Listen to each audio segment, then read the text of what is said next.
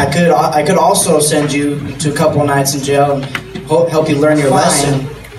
And so I ended up paying a $600 ticket out of that experience. It was a very expensive experience and a lesson that I had to learn. But I came across this scripture when I was thinking about that story. It's 2 Corinthians 10 that says, For we must all appear before the judgment seat of Christ, so that each one may receive